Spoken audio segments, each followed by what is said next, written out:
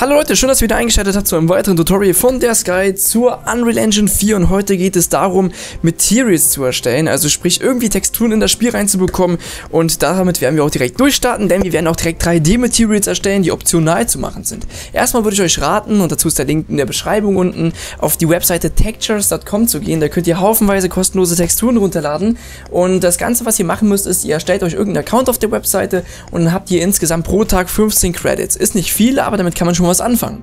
Also gehe ich jetzt hier auf die 3D Scanned Materials als Beispiel. Ihr könnt auswählen, was ihr wollt. Hier oben gibt es auch ein Suchfeld. Und ich suche mir jetzt mal irgendwas Cooles raus. Wie beispielsweise eine Felswand. Jetzt haben wir hier zum Beispiel eine coole Felswand. Haben wir noch irgendwas anderes Geniales? Ich würde mal sagen, ich nehme jetzt einfach mal irgendeine Felswand. Das bedeutet, ich nehme jetzt einfach mal hier diese Cave Rock, diese Textur hier, die gefällt mir, klickt da drauf und wir sehen schon, wie das Ganze in 3D aussehen könnte. Also das haben wir gerade eben schon gesehen bei diesem 3D-Objekt, was die uns da angezeigt haben. So, was wir jetzt machen ist, wir klicken hier hier sehen wir es auch nochmal. Wir klicken jetzt hier erstmal auf Medium, weil das ist das einzige, was wir als kostenlosen Account machen können. Aber 1024 ist absolut in Ordnung. Dann klicken wir auf das Download-Symbol und ihr tut euch alle Texturen hier runterladen. Das heißt, alle fünf. Die hier unten sind unwichtig, aber die da, die da, die da, die da und die da. Aber um zu kurz zu erklären, was das Ganze macht.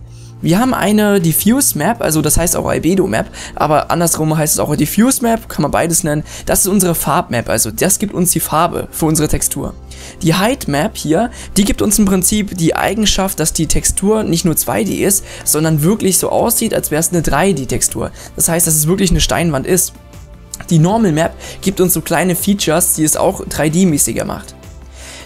Ambient und Collision Map, die gibt es Ganzen, die gibt dem Ganzen so eine Art, ja, wie soll man sagen, Umgebungs- Reflexionstextur. Da bin ich mir jetzt aber auch nicht hundertprozentig sicher. Dann haben wir die Roofness Map. Das ist im Prinzip schon das, was es in Englischen heißt. Die Roofness, das heißt, wie im Prinzip auch die Oberfläche ist, weil wie das die physikalische Eigenschaft davon ist. Also die, die, ähm, ja, Roofness eben. Sorry, ich weiß jetzt gar nicht, wie ich es anders erklären soll, aber ihr werdet ihr es gleich sehen. Ihr ladet euch das alles runter und ihr seht jetzt schon, dass das hier ein TIFF-Format ist. Die Unreal Engine unterstützt aber kein TIFF-Format. Das ist aber überhaupt kein Thema. Ihr könnt ganz einfach in Paint dieses TIFF-Format öffnen, also hier haben wir es .tiff und geht dann einfach hier auf äh, Save As und dann geht ihr auf PNG und speichert das Ganze auf euren Desktop äh, als PNG. Das geht auch in Photoshop, also nur so nebenbei. Das habe ich jetzt schon gemacht und dann gehen wir hier auf den Content Browser, wenn ihr soweit seid und jetzt gehen wir hier im Prinzip maximieren das Ganze und gehen mal hier unter Content, machen uns einen neuen Ordner mit Rechtsklick und sagen jetzt ähm, Custom Materials. Aber das geht gar nicht so. Custom-Materials. So, wir gehen in den Ordner rein und jetzt haben wir hier oben links einen Knopf, der heißt Import. Da klicken wir drauf wir gehen dann auf meinen Desktop und jetzt habe ich hier das unter Cave, Rock, Unterstrich und dann so weiter genannt. Hier habe ich die Albedo-Textur, die Farbtextur, die Ambient Occlusion-Textur, die Height Map, die Normal Map und die Roofness-Textur. Wir klicken auf Open und der importiert das Ganze jetzt. Wenn der bei der Normal Map ist, dann wird er gleich sagen, hey, wir haben die Unterstrich Norm Map als Normal Map importiert, weil wir das als Normal Map festgestellt haben. Die hat übrigens so eine Farbe hier. Okay, lange Rede, kurzer Sinn. Wir werden jetzt hier ein Material erstellen. Rechtsklick in den Ordner, Material und nennen das Ganze jetzt Cave Rock. Wenn ich es richtig schreibe. Cave Rock. So, jetzt klicken wir hier drauf und das ist jetzt unser Material. Ihr seht schon auf der linken Seite, dass im Prinzip noch überhaupt nichts passiert ist bei unserem Material, dass es einfach nur schwarz ist und dass hier im Prinzip alles leer ist. Jetzt werden wir folgendes machen. Wir werden das kurz mal hier zur Seite schieben, unseren Content Browser öffnen und dann jegliche Texturen hier markieren und die ziehen wir jetzt einfach alle mal hier rein. Und jetzt sehen wir, dass wir so einen riesigen Haufen von unseren ganzen Texturen, die wir gerade eben konvertiert haben und runtergeladen haben, hier drin haben. Die werden wir jetzt erstmal auseinanderschieben. So, das hier ist unsere Albedo-Textur, beziehungsweise Diffuse-Textur.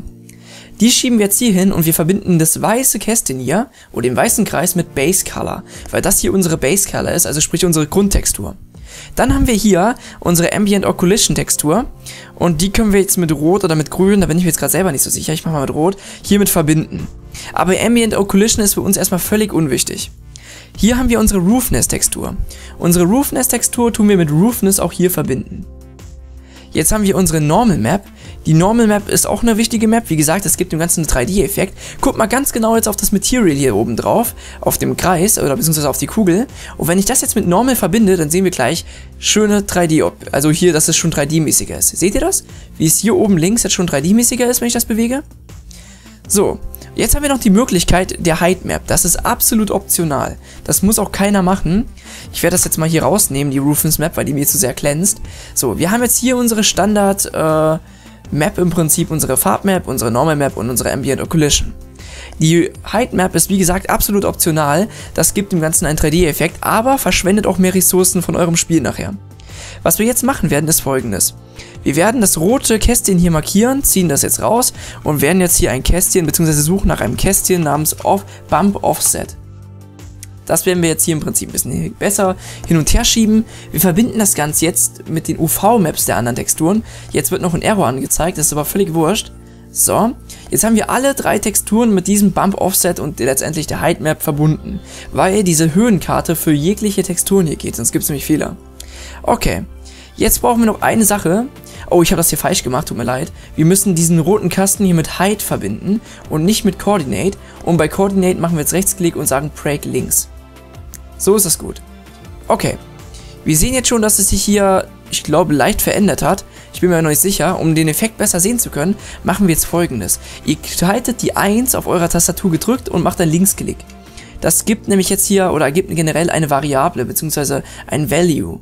Das verbinden wir mit dem Height Ratio Input.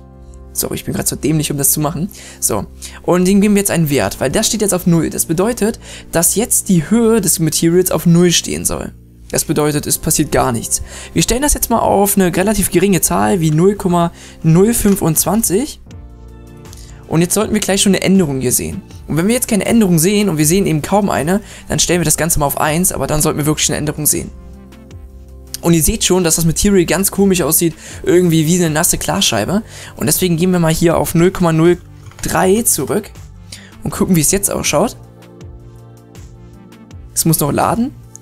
So, und jetzt sehen wir schon, wie das schon etwas 3D-mäßiger ist.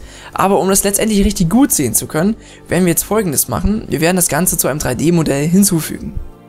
So, wir klicken auf Speichern, das haben wir jetzt gemacht.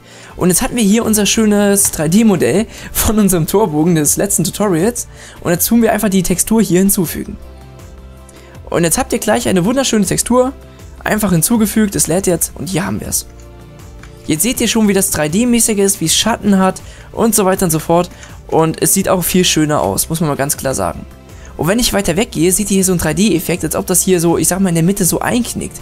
Das ist, ich weiß nicht, ob ihr das jetzt so genauso gut sehen könnt wie ich, aber es knickt in der Mitte ein. Und diesen Effekt könnten wir natürlich hier verstärken, indem wir einfach hier diesen Wert nochmal auf 4 setzen und auf Eingabetaste drücken und jetzt auf Speichern und dann tut er das direkt in-game auch ersetzen. Jetzt sagt er bei mir gerade Speichern, das könnt ihr jetzt gerade nicht sehen. Jetzt macht das.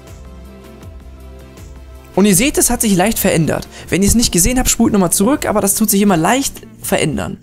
Und das sieht, denke ich mal, richtig nice aus. Und das ist jetzt euer eigenes Material. Jetzt habt ihr hier so ein glänzendes Material. Das ist natürlich auch nicht so schön. Da können wir jetzt zum Beispiel eine Specular Map mit einem externen Programm erstellen. Oder wir halten wieder die 1 gedrückt und klicken einmal Linksklick drauf und verbinden das hier mit Spekulär und geben dem Ganzen einen Spekulärwert von 0, ich würde mal sagen 0,1, damit es eben wirklich kaum ein Spekulär-Map hat, also kaum glänzt. Dann klicken wir hier wieder auf Speichern. Das hängt manchmal wirklich, oder das liegt vielleicht gerade auch mal an meinem PC, keine Ahnung.